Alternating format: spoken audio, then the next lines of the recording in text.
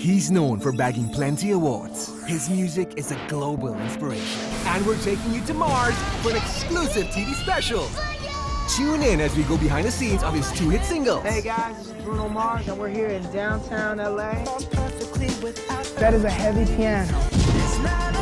Catch Bruno Mars this 22nd August at 3.30 p.m. and three other repeats.